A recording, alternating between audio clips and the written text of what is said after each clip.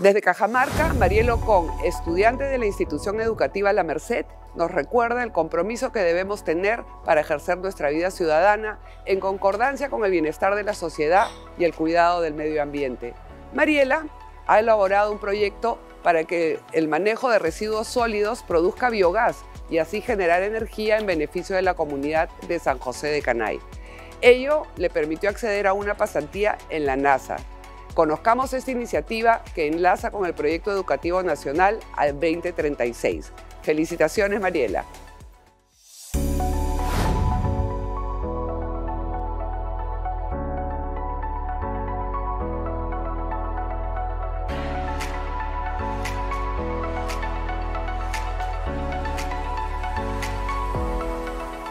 Hola, ¿qué tal? Estamos aquí en la planta de tratamiento de residuos sólidos desde San José de Canay, Distrito de Jesús, Departamento de Cajamarca. Como pueden ver a mis espaldas está la chimenea donde sale el gas. ¿Y cómo sale el gas? Está bajo tierra, desde la profundidad sale hacia arriba. Este gas está expuesto al aire y sale mucho gas metano. Es por ello que estamos perjudicando al ambiente y asimismo eh, hay pobladores de esta zona de San José de Canay que también se ve afectado su salud.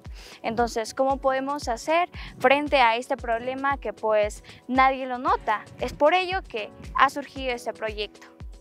El proyecto consiste en capturar justamente este gas, capturarlo, canalizarlo, almacenarlo en un tanque y a partir de este tanque se va a distribuir a los pobladores de San José de Canay. Previamente también hay que rescatar que va a tener dos medidores, tanto la cantidad de gas que sale y asimismo la cantidad de gas que tiene el tanque de almacenamiento del gas. Por ello, con este proyecto solo se canalizaría y ya tendrían gas natural en sus casas. Por otra parte, también generamos conciencia ambiental, eh, sabiendo que cómo este gas se está desperdiciando, cómo podemos aprovecharlo y que cada uno eh, sea responsable de todo lo que puede hacer. Asimismo, también para que este proyecto sea ejemplo para las demás futuras generaciones, para que sigan este mismo ejemplo contribuyendo tanto a la salud, al ambiente y a la economía.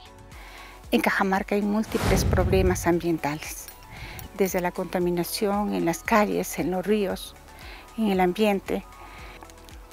Y nos encontramos con este problema del gas, del biogás que está, digamos, a aire libre y expuesto. Entonces, nos pareció una idea excelente trabajar este proyecto. Me parece que eh, no es necesario, no es importante y necesario que seamos del área de ciencia y tecnología. Creo que en cada uno de nosotros como docentes debe haber el amor a la naturaleza, inculcar del área que estemos, a que nuestros estudiantes amen y cuiden nuestro entorno. Entonces, eso es lo que inculco en cada una de mis estudiantes. ¿no? Y, me gustaría que en cada rinconcito donde estemos, ah, Siempre pensemos, ¿qué puedo hacer ahora por este espacito que tengo? ¿Cómo debo de cuidar? ¿Cómo debo de, hacer que esto florezca, que algo esté limpio? Y pido a todos los docentes que hagan algo por nuestro planeta.